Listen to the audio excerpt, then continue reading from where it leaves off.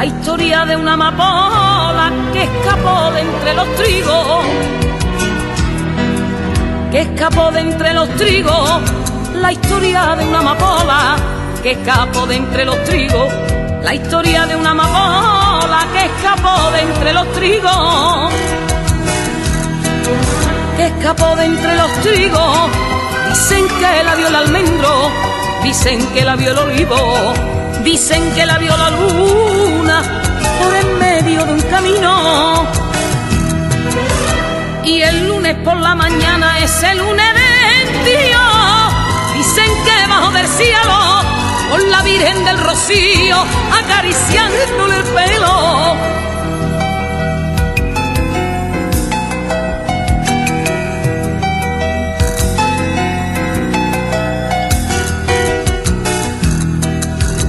Historia de una pastora que salió de su cortijo, que salió de su cortijo, la historia de una pastora que salió de su cortijo, la historia de una pastora que salió de su cortijo, que salió de su cortijo, dicen que vio la amapola que escapó de entre los trigos, con la que estaba jugando el divino pastorcillo. Y al destaparle la cara con las luces de la aurora, dicen que grita el gentío, tenemos una pastora que es la Virgen del Rocío.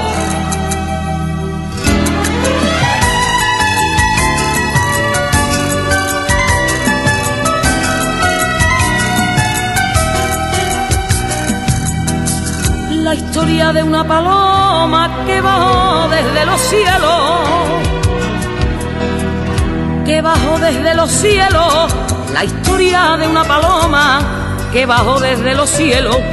la historia de una paloma que bajó desde los cielos, que bajó desde los cielos, dicen que la vio una estrella, dicen que la vio un lucero,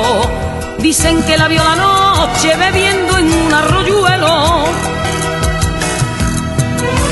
Y el lunes de romería, cuando ya el calor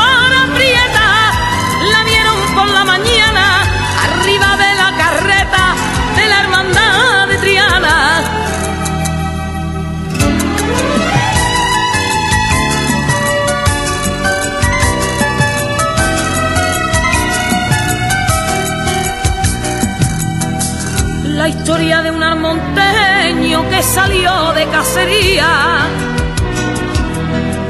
Que salió de cacería, la historia de un armonteño que salió de cacería, la historia de un armonteño que salió de cacería,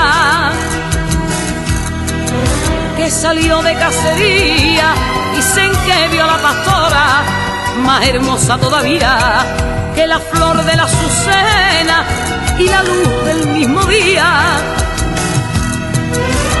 queriendo saber quién era, pregunto y sentía una voz que lo veo mudo y frío. Yo soy la madre de Dios y la Virgen del Rocío.